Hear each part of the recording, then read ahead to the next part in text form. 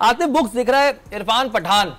Cricket में कुछ खास काम कर नहीं पाए तो वो राशिद के साथ मिलके भंगड़े डाल रहे हैं। भाई, कुछ और काम भी कर लिया करो। क्रिकेट में तो तुम्हारा करियर खत्म हो गया, तुम नाम वाम क्या बनाओगे अपना?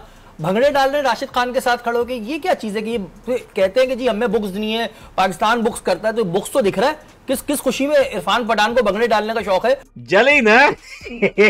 तेरी जली है? राशिद खान की बात करें और इरफान पठान जो इंडिया के प्लेयर हैं उनकी बात करें जिस तरीके से उनकी वीडियो वायरल हुई है मैच जीतने के बाद। पाकिस्तानी लोग हार से ज़्यादा इरफान पठान पे और हरभजन सिंह पे तपे हुए हैं। अफ़गानिस्तान के जीतने के बाद भारत के legendary fast bowler Irfan Pathan जो हैं उन्होंने अफ़गानिस्तान की जीत को सेलिब्रेट किया और मैदान में राशिद खान के साथ उन्होंने जो डांस किया। सच बता तेरी जली ना।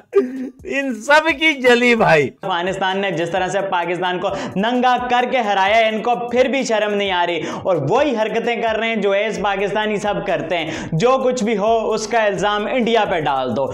ऐसी जली हुई है कि कल से परेशान है कि अगर बात करें तो किस चीज़ पे करें? तो लो जी, एक बार फिर से पाकिस्तान का चालू हो गया है रंडी रोना अफ़गानिस्तान से हार के बाद इनको बर्दाश्त नहीं हो रहा है कि अफ़गानिस्तान जैसी छोटी टीम पाकिस्तान को कैसे हरा सकती है? अभी अपने टीम के बारे में बात तो कर नहीं सकते हैं। कि हमारी टीम ने तीनों जगह टट्टी किया है, चाहे वो बैटिंग में हो, फील्डिंग में हो या गेंदबाजी में हो। उसके बारे में बात नहीं करेंगे अपनी कमज़ोरी को छुपाएँगे और दूसरी टीम की बुराई करेंगे। यही तो करते आए हैं, इसलिए तो टीम का ही रिज़ल्ट निकल के आ रहा है। अब वो अफ़गानिस्तान को ये तो नहीं कह सकते हैं कि आपकी टीम बहुत अच्छा खेली है, इसलिए आपकी टीम जीती है। अब उनको दूसरी टीम की बुराई करनी है, अपनी टीम की कमज़ोरी को छुपाना है। तो अब किसके बारे में बात करें? तो उन्होंने पकड़ लिया इरफान पठान को कि इरफान पठान मैदान पर डांस कैसे कर सकता है। इरफान पठान एक एंकर होने के बाद राशिद खान के साथ मैदान पर डांस कैसे कर सकता है?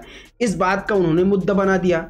पूरे पाकिस्तान की मीडिया में सिर्फ़ यही चर्चा हो रहा है कि इरफान पठान ने डांस किया तो किया कैसे? उसने मुस्लिम कम्युनिटी पाकिस्तान को हट किया है। अब ये इतने सदमे में हैं, सस्ते नशे करने वाले ये नशेड़ी, कि वो भूल गए कि इरफान पठान भी एक मुसलमान है। राशिद खान जिसके साथ डांस कर रहे हैं, वो भी एक मुसलमान है। और जो टीम हारी है, वो भी एक मुसलमान है। लेकिन ये सस्ते नशे करने वाले नशेड़ी भूल गए हैं ये बात। अब इसी बात पर पूरे पाकिस्तान में सूझी हुई है। अब ज़्यादा सोचने के बाद इन लोगों ने इरफान पठान को पकड़ लिया। अब अगले एक हफ़्ते तक ये इरफान पठान को नहीं छोड़ेंगे कि भाई तू नाचा क्यों? किस किस खुशी में इरफान पठान को भंगड़े डालने का शौक है? तुम्हारे यहाँ बहुत सारे रियलिटी शोज़ में डांस वांस होता है जाके नाच लिया करो शौक पूरा कर लिया करो अपने। अफ़गानिस्तान जीता इरफान पठान का राइट है बार बार डांस करे जो मर्ज़ी करे। क्यों जल रही है आपकी? वो ट्वीट करता है आपकी जल जाती है वो ये करता है वो आपकी जल जाती है। अफ़गानिस्तान भी, अफ़गानिस्तान वाले भी मुसलमान हैं, और इरफान पठान भी मुसलमान है, और पाकिस्तान भी, हारा वो भी मुसलमान है। चीज़ तो तीनों की सिमिलर है ना?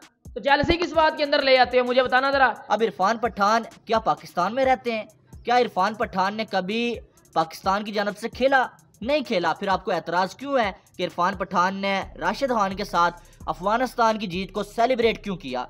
इनकी कोई मसला आपको तो होना नहीं चाहिए। उनकी अपनी मर्ज़ी है, वो किसी को भी जो है सपोर्ट करें।